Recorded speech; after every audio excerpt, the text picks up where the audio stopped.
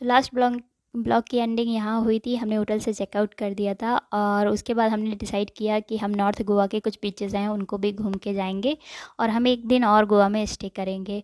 तो हम लोग पणजी पहुँच गए हैं और हमने, पणजी में पहुँच हमने डिसाइड किया कि हम लोग सिंक्वेरियम बीच और फोर्ट अगोदा या अगवाद, उसको घूमने जाएँगे।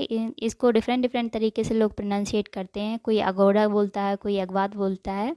तो ये लोअर फोर्ट अगोदा है और ये बीच है, वो सिंक्वेरियम बीच है।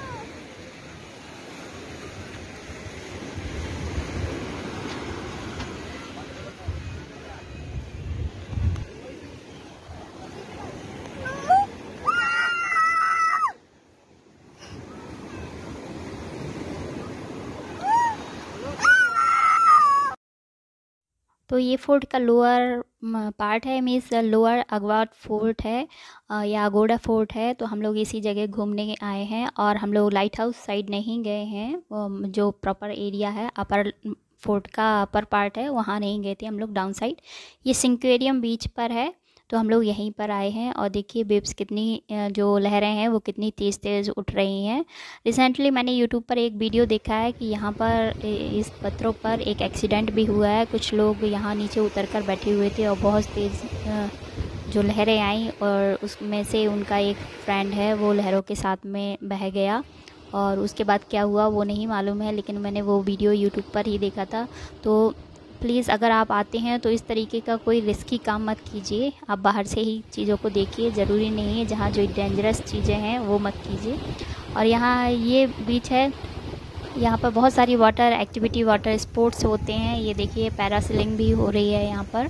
तो आप सारी स्पोर्ट एक्टिविटी यहाँ पर स्कूटर राइडिंग और बोट्स की सारी एक्टिविटी बनाना राइडिंग है जो स्पोर्ट्स से रिलेटेड वो भी कर सकते हैं। अगोडा फोर्ट देखने के लिए और यहाँ पर बीच भी है। यहाँ पर बहुत सारे स्पोर्ट एक्टिविटीज़ या स्पोर्ट्स गेम होते हैं और ये बीच है। वो स्पोर्ट एक्टिविटी के लिए भी फ़ेमस है। जिस तरीके से कलिंगुड बीच है उसी तरीके से ये भी है। तो ये देखिए मैं आपको दिखाती हूँ पीछे। तो यहाँ ये स्पेस है बैठने के लिए तो मैं यहीं पर बैठी हुई हूँ। और ये देखिए फोर्ट का एक कॉर्नर वो है और एक इधर है और एक उस तरफ़ है।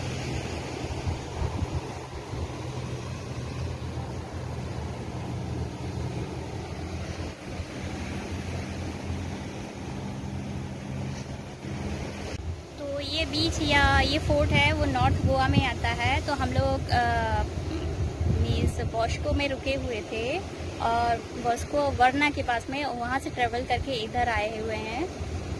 यहाँ, क्योंकि हमने साउथ गोवा के कुछ बीचेस हैं, वो अच्छे से घूम लिए थे। मॉर्निंग इवनिंग में दोनों टाइम घूम हुए थे। अब हम यहाँ के बीचेस हैं, वो घूम रहे हैं।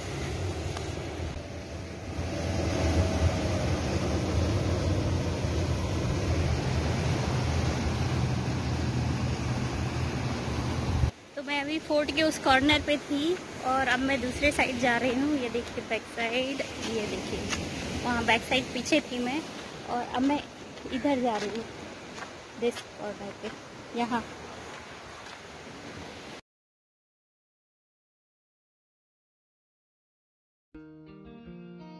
तो चलते चलते मैं इस तरफ़ आ गई थी और हमने ये पूरा पार्ट है वो घूम लिया था और यहाँ पर हल्का फुल्का क्राउड था और धूप भी अच्छी खासी हो रही थी लेकिन हवा चल रही थी, इस वजह से धूप नहीं रह, लग रही थी। देन हमने घूम, फोर्ट को घूमने के बाद हम लोग बीच पर गए नीचे जैसे कि वहाँ थोड़ा देर बैठे इन्जॉय करें क्यारा भी और ये सिंक्वेरियम बीच है और अच्छा बीच है और आप यहाँ अच्छे से इन्जॉय कर सकते हैं। और यहाँ पर देखिए सारी वाटर स्पोर्ट्स या वाटर एक्टिविटी के एक बोर्ड लगा हुआ है कि किसका कितना चार्जेस है।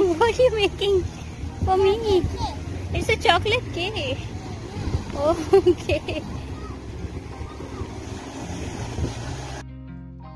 तो क्यारा का सैंड टॉय है, वो हम लोग लेकर ही चलते हैं। साथ में कहीं पे भी जाएँ, किसी भी बीच पर उसके सैंड टॉय लेकर, क्योंकि उसको हर जगह खेलना होता है सैंड में, और वो सैंड में खेलना ज़्यादा पसंद करती है। और ये देखिए, वो टॉय अभी वहाँ रख दिए और उसको लेकर आएगी, और वापस से उसको सैंड में थ्रो कर देगी। और जब उसमें सारे टॉय में फिर से सैंड लग जाएगी तो वापस लेके जाएगी। अंकल प्लीज़ इसको वॉश कर दीजिए। तो ये क्यारा का खेल चल रहा था।